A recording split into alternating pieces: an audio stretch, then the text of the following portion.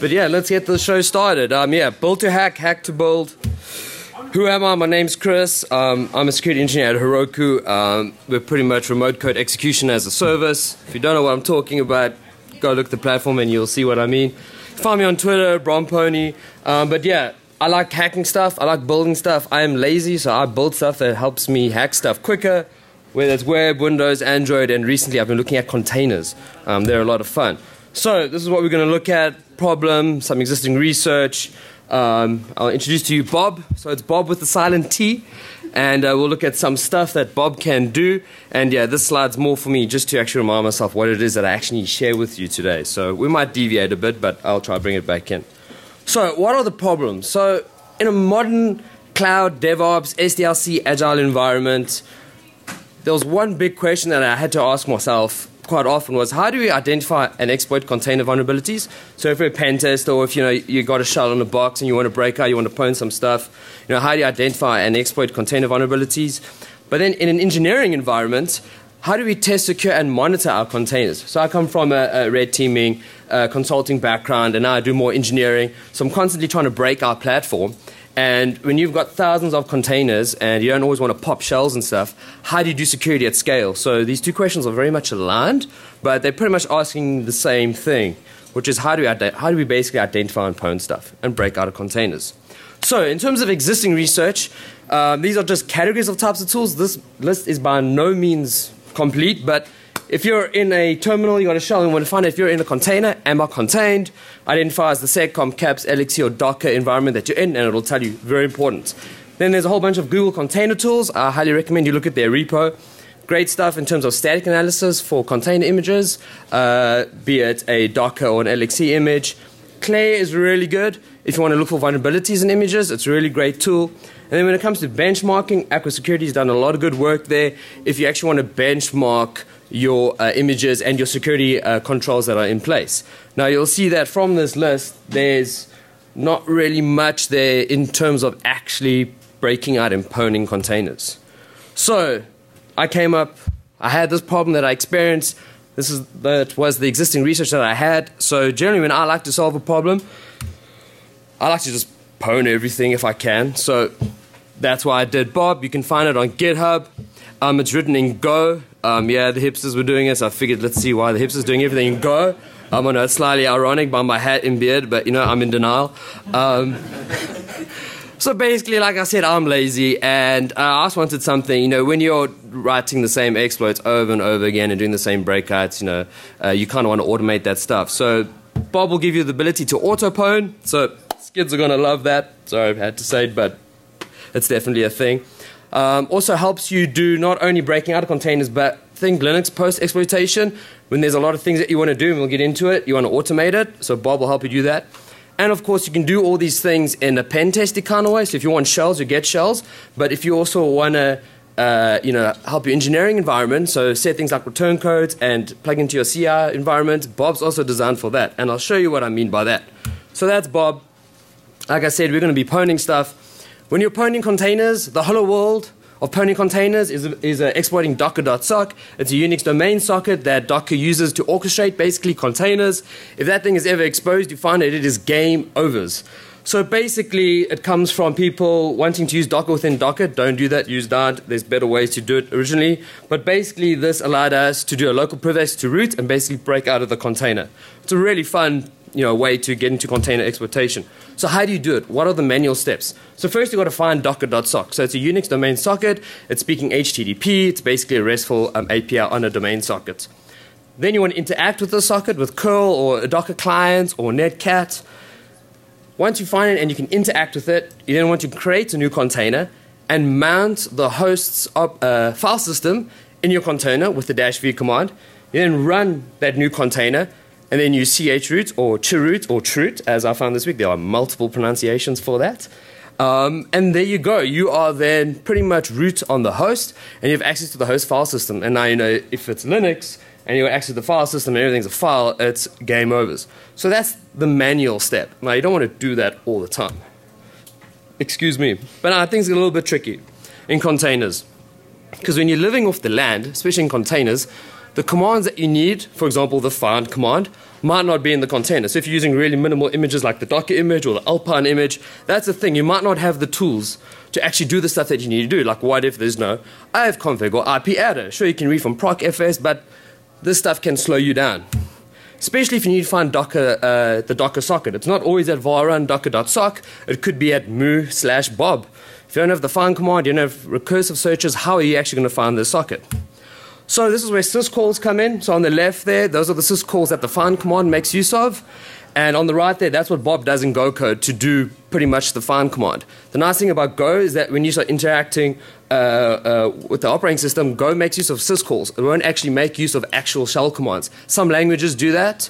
So the nice thing is, is that if the command isn't there, you can use the syscalls, and the syscalls will be there to allow you to perform the actions that you want to do. So that, that's what we do with Bob, and I'm going to show you a demo now.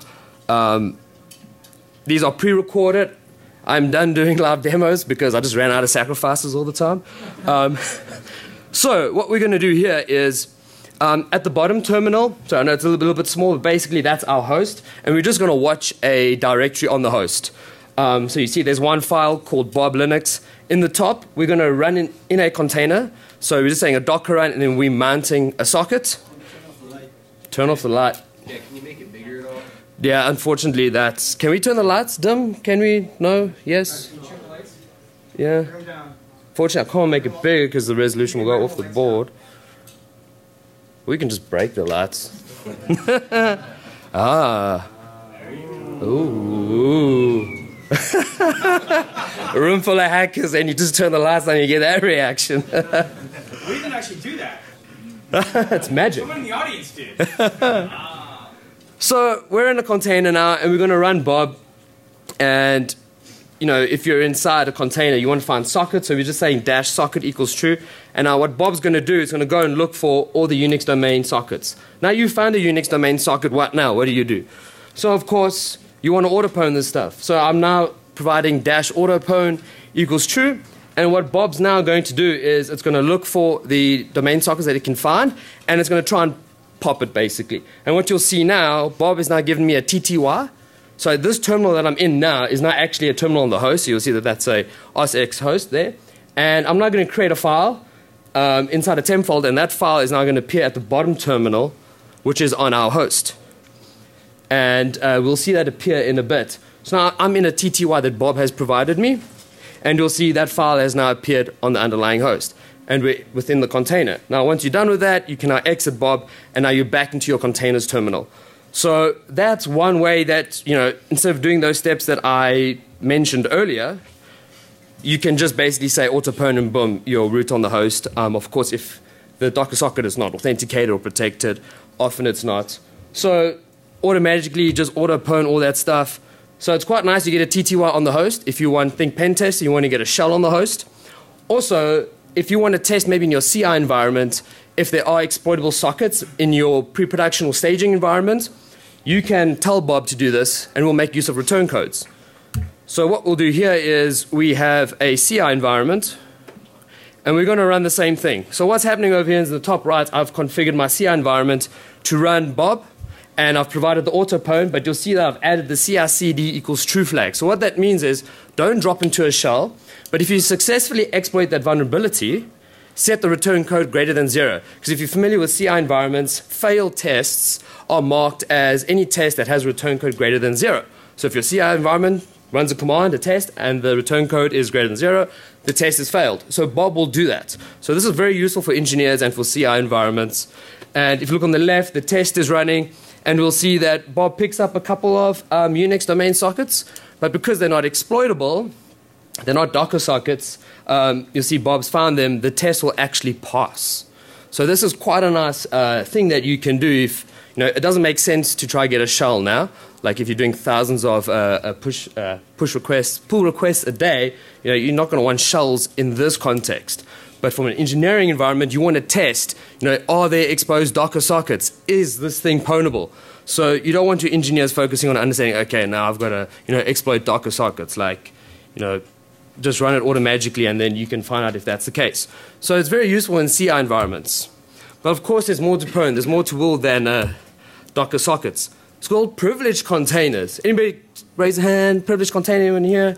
Cool. So thank you for putting your hand up. And it's worse when you had a talk and someone's like, "Can you please put your hand up if you have, you know, seen X or A or B or C?"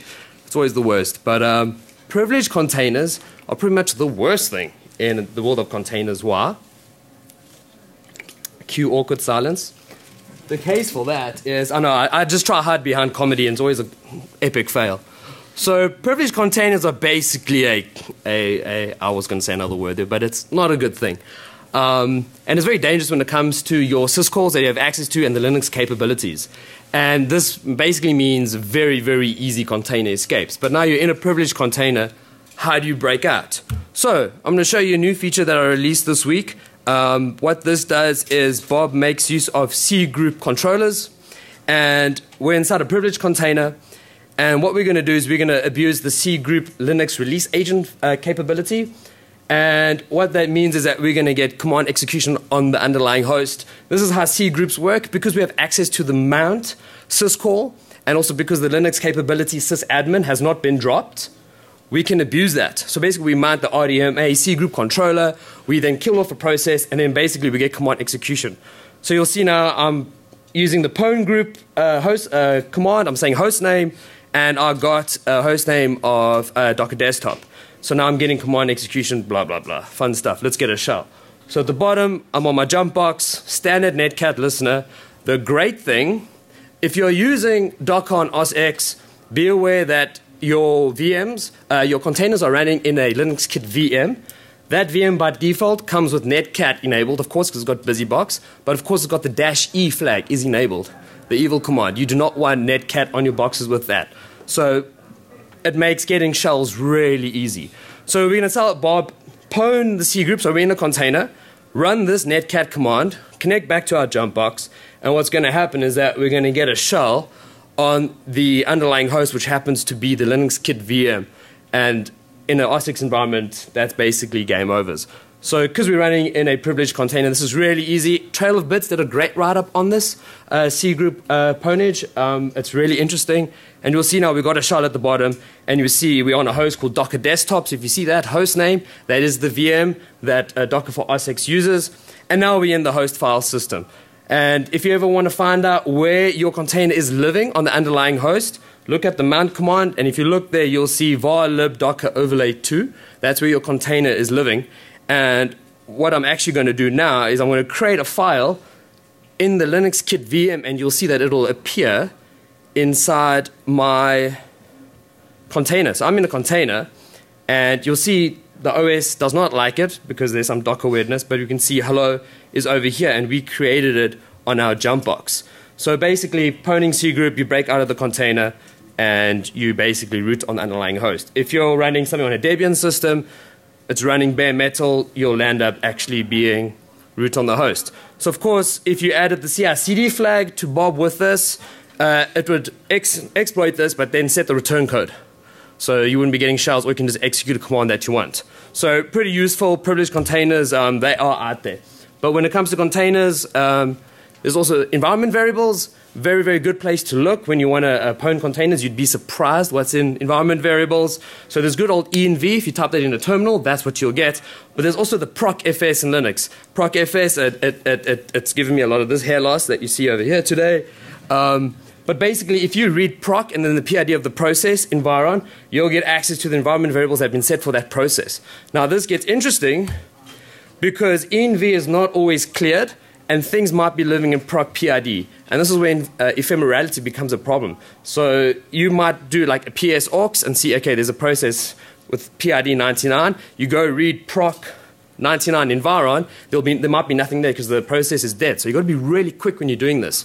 Bob does this really quickly via OS environ, and Bob will go ahead and check the env, os.env, so like typing env in your terminal, and go in the procfs and analyze that. Because sometimes there's the case where the env in your terminal has been cleared, but the proc environment uh, mapping has not been cleared. So sometimes you can find a whole bunch of stuff because, of course, you know, environment variables, it's, you know, the next gen secret storage uh, mechanism. So that's pretty much what the Go code looks like if you want to process procfs. It's really nice and minimal. Um, I'm a big fan of Go, um, as you can probably hear or see. But how do we actually go about doing this? So we're going to run a container, and I should probably press play. That's a good place to start. And we're going to add in an environment variable. So it's called touch of approval and super secret password. So what Bob will do by default, if you do the recon flag, if you don't pass a word list, Bob will look for password and secret. And you can see now Bob has said, okay, we've now found these PIDs that have this uh, key term in proc environ, and Bob will then look in the env for the process that it exists in. And that's by default. But what you can also do with Bob is you can also supply a word list. So you can tell Bob, you know what, analyze all the processes that you have access to and use the use for uh, look for these words in this word list. So we're going to provide a word list now, and inside that word list were the terms password, YOLO, secret, find me, and Bob went ahead and looked at env and in all the processes inside there. Now, this is where the uh, return codes also happen. So if Bob has found a keyword in a process environment that you're looking for, the return code will be greater than zero. That's what I'm going to show you now. So now you're going to use a word list where there's nothing inside. And you can see Bob didn't find any of the entries inside the word list, inside any of the processes. And then you'll see the return code now will be zero because Bob didn't find any of those key terms. So that's all fine and dandy. How do we also do this in a CI environment? So you definitely want to scan your environment variables in your pre-production or production environments because you never know what's going to be lingering there. So in this case, and these configs are all the same on the uh, CI environments that you're using. So we're using a shell script here, and we're going to be running two Bob commands. So we're going to be doing the socket autopo. So we're going to try to see if we have any vulnerable sockets, and we're going to be scanning our environment variables. And Bob will go ahead and do that on every git push and every pull request, or however you've configured your CI environment. So let me just fast forward this. This is in true Chris fashion. I made too much content for what I have. So I'm like, let's get to the really cool, fun stuff. And of course, you can't double up speed with the videos that I make. I'm just challenged in that way. So in every CI environment, Bob is going to look for these key terms. It is regex as well, so you can say, okay, look for uh, S3 tokens or whatever. It's, it's regex. Um, the world will definitely burn at some point. So you can see Bob has gone ahead and run those two commands, and the test will pass because from the previous tests, we know that there are no exploitable Docker sockets, and in the container that we are running, now remember in, our, in this CI environment, all our tests are running in containers. That's how we configured it, and now we know great stuff that test passed. Our containers in pre-production do not have exploitable Docker sockets, and the environment variables that are there do not have any of the key terms that we specified. But of course, clouds, uh, clouds, yeah, clouds uh, love to host containers. Um, and of course, we've got metadata services. So the 169.254 address, it exists in GCP or AWS, Azure. And basically, if you can get access to this, you can do a whole bunch of stuff. It depends on the platform. So, for example, that curl request in uh, AWS, if there's an IAM role associated to the instance, you get the credentials for that. It, it changes. It varies on GCP. Um, there's a whole, yeah, that is a whole world and talk right there on what you can do with metadata services. Excuse me. So you really want to find these things, but also, if you think Kubernetes, there's also APIs out there. Metadata service is basically an API. And you want to look for these things. Also, you want to find out what is on your network ranges for your containers. For example, EC2 Classic, still around. If you use EC2 Classic, um, and this is from the documentation, your all the hosts, every client that uses EC2 Classic is all on one big flat network. Yes, I know. What year is this? Um, so if you are running anything on EC2 Classic, your host is exposed on that 10 range. So you know, if you're in container environments or any post-exploitation environment, you want to find what APIs or what stuff's available. But if we go back to the container quirks now, you might not have nmap in the container. You might not have wget or curl. You might not have the tools that you need to do the um, footprinting that you want to do. So of course, uh, Bob has a useful feature. So you can tell Bob, go ahead and uh, look for uh, metadata services if you don't have wget or curl um, and all that interesting stuff. So you just add the um, metadata flag, and Bob by default will look for two endpoints, a Kubernetes control plane endpoint, and the 169.254. So you can see now in this point, in this container, those two endpoints weren't there. But now we're going to tell Bob, use the word list and see if the container can hit Heroku.com. Um, and we're going to specify the endpoint list. And then Bob's just going to process that list and see, okay, can I issue a successful HTTP request to that host? And there we go. We see Bob says we got a response from Heroku.com, and if we look at the return code, it's one. So you can use this in your CI environments as well. If you want to check what the egress is, you want to see, okay, I know that my, my Kubernetes or my control planes are sitting on these IPs. Tell Bob to scan those IPs in your pre-pod or in your production, and Bob will tell you, oh, by the way, I can, I can, I can interact with this endpoint, which I shouldn't. And of course, when you're on a host and you want to break out or just pwn more stuff, it's pretty useful when you don't have wget or curl. So there's also binary hijacking. This is awesome because a lot of orchestration environments explicitly trust the commands that they're provided with. So if you run docker exec on a running container, docker exec doesn't go and check, am I going to run the legit ls command on the container? It just runs ls. So if you're in control of that container, you can overwrite the ls command to write your command. And we can do some pretty cool stuff with that. An example is kubectl or kubectl. I heard it's another pronunciation. You learn something new in Vegas every year. So with kubectl, it executes the containers or the, the pods um, tar command. That was recently exploited and used in an interesting chain by Twistlock. I highly recommend.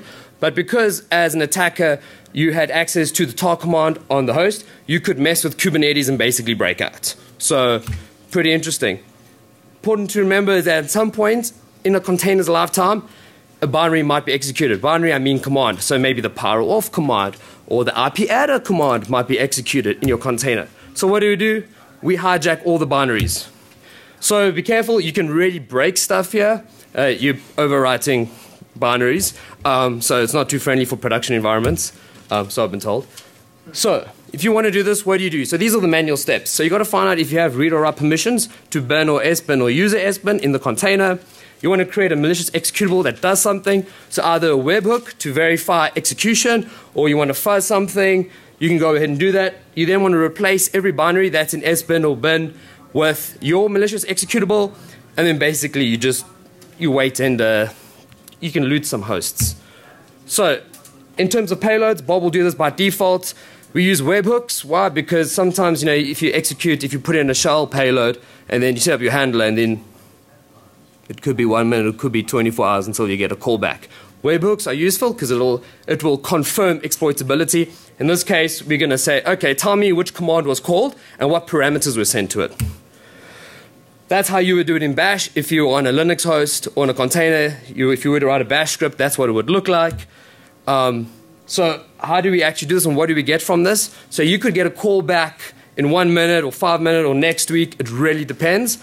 Um, I've, what I've successfully uh, achieved with this kind of attack is getting uh, tokens provided to curl commands. So some cloud platforms will say, okay, this client's running a container. It's been 24 hours. Let's back up the contents of the container and let's push it to an S3 bucket. And of course, you know, it's not an open S3 bucket. They authenticate it as they should. But because they're running the curl command inside my container, I've overwritten the curl command and they're actually calling my command. And then because they're using a token, they have to give the token to the curl command that they're running in my container to back up the contents. So you can find some interesting stuff over there.